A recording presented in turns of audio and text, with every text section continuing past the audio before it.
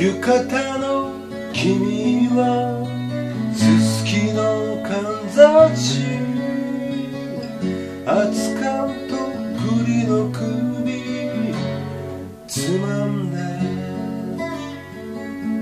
もう一杯いかがなんて妙。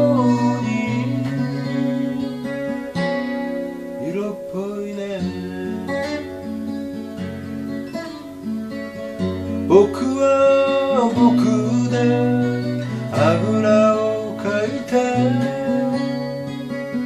君の頬と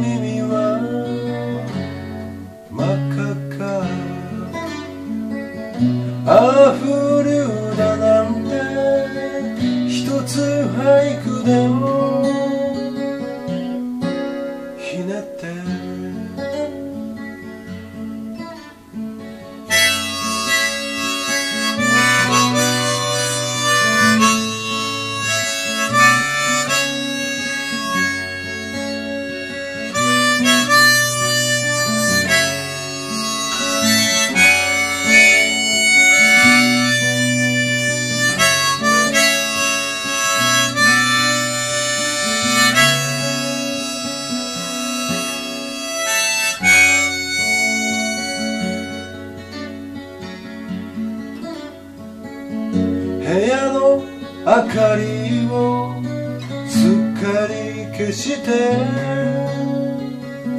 風呂上がりの髪いい香り。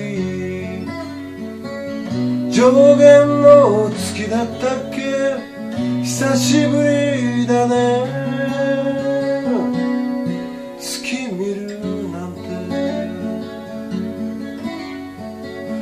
僕はすっかり酔っちまって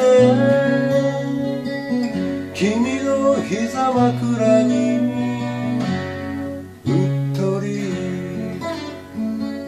もう飲みすぎちまって君を抱く気に